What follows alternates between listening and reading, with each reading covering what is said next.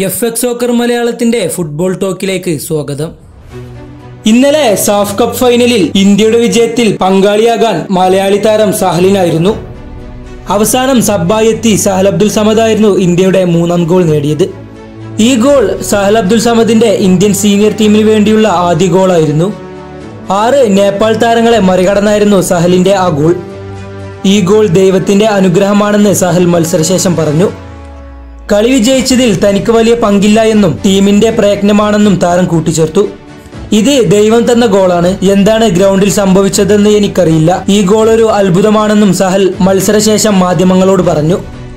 താരം നിലവിൽ ഇന്ത്യൻ ക്ലബ്ബായ കേരള ബ്ലാസ്റ്റേഴ്സിന് വേണ്ടിയാണ് ബൂട്ടണിയുന്നത്. സഹൽ അബ്ദുൽ സമദ് ഇന്ത്യ കപ്പുയർത്തിയ മത്സരത്തിൽ തന്നെ ഗോൾ നേടിയത് ഇത് ഓരോ മലയാളി താരത്തിനും അഭിമാനമാണ്. ഇന്ത്യ ഫൈനലിൽ കപ്പുയർത്തുമ്പോൾ അതിൽ ഒരു മലയാളിയുടെ പങ്കുണ്ട് എന്ന് പറയുമ്പോൾ ഇത് ഓരോ മലയാളിക്കും ഇരട്ടി മധുരമാണ്. പുതിയ ഫുട്ബോൾ വാർത്തകൾക്കും വിശേഷങ്ങൾക്കുമായി ഈ ചാനൽ മറക്കാതെ സബ്സ്ക്രൈബ് ചെയ്യൂ.